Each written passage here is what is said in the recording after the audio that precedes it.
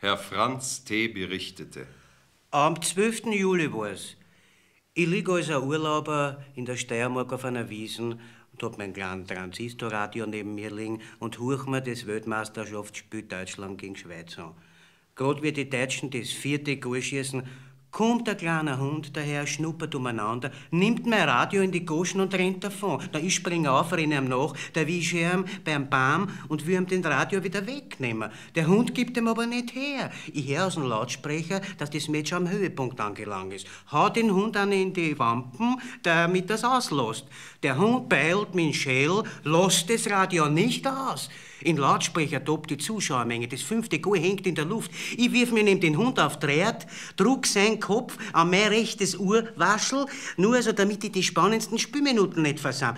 In dem Moment pfeift der Schiedsrichter, der Hund, der schreckt, lässt den Radio fallen und beißt mir ins Uhrwaschel. Ich in mein Schmerz reibe ihm eine mit der Faust, der Schiedsrichter schließt einen Spül aus und der Hund rennt davon. Ich nehme mein Radio, halte ihm ans einbissene Uhrwaschel und gehe zu meiner Decken zurück. Gerade wie die Schweizer das fünfte Bummel kriegen, kommt da der Hundebesitzer daher ganz aufgeregt, wie wenn er ein Schweizer war und wird handgreiflich, weil ich angeblich seinen Hund gemartert hab. Na, ich hab nur gewartet, bis die Übertragung aus war. Dann hab ich dem Mann in Notwehr aufs Eigel gewichst, auf, auf das Auge gehauen. Und jetzt geht er mir noch anzeigen, obwohl mir sein Hund die zweite Halbzeit total verbotzt hat. Die Verhandlung wurde vertagt. Der Hundebesitzer wird im Rechtshilfeweg einvernommen werden.